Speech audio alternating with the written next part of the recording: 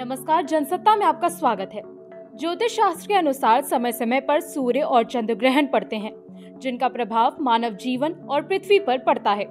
आपको बता दें कि साल का पहला सूर्य ग्रहण 20 अप्रैल को पड़ेगा। ये ग्रहण भारत के समय अनुसार सात बजकर तीन मिनट से शुरू होकर दोपहर बारह बजकर अट्ठाईस मिनट तक रहेगा। इस ग्रहण को दक्षिण पूर्व एशिया, ऑस्ट्रेलिया, हिंद महासागर और अंटार्कटिका सहित कई देशों में भी देखा जा सकेगा। वहीं भारत में इस ग्रहण का प्रभाव देखने को नहीं मिलेगा। इसीलिए सूतक भी माने नहीं होंगे। लेकिन इसका प्रभाव सभी राशियों पर कुछ न कुछ ज़रूर देखने को मिलेगा।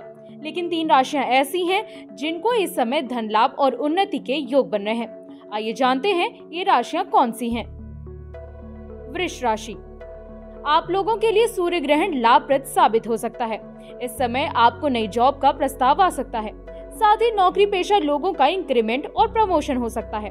वहीं बॉस आपसे खुश हो सकते हैं। साथ ही ये गोचर आपके लिए आर्थिक मामलों में काफ़ी महत्वपूर्ण रहने वाला है। इस दौरान आपकी आर्थिक स्थिति बहुत मज़बूत होगी। वहीं जीवन साथी के साथ संबंध अच्छे रहेंगे। साथ ही समय आपको सभी भौतिक सुखों की प्राप्ति हो सकती है। मिथुन राशि। सूर्य ग्रहण मिथुन राशि के जातकों को शुभ फलदायी सिद्ध हो सकता है। इस समय आपको कोर्ट कचहरी के मामलों में सफलता मिल सकती है। साथ ही जो लोग राजनीति से जुड़े हुए हैं, उनको किसी पद की प्राप्ति हो सकती है। वहीं आप सामाजिक रूप से और सक्रिय होंगे। इस समय आपको कुछ नए लोगों से मिलने का मौका मिलेगा। साथ ही इस समय आपको उधार दिया हुआ धन भी वापस मिल सकता है। साथ ही जो लोग संतान की प्राप्ति के इच्छुक हैं, उनको संतान की प्राप्ति इस दौरान हो सकती है।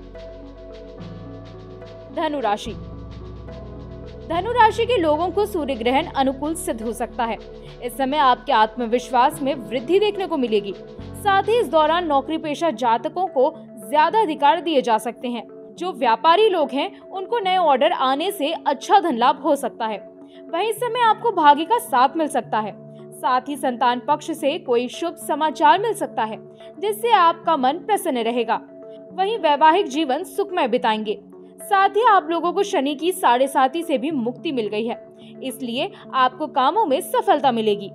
आपकी राशि पर ग्रहण के प्रभाव से जुड़े सवाल हमें कमेंट सेक्शन पर पूछिए और ज्योतिष की खबरों के लिए बने रहिए जनसत्ता के साथ। धन्यवाद।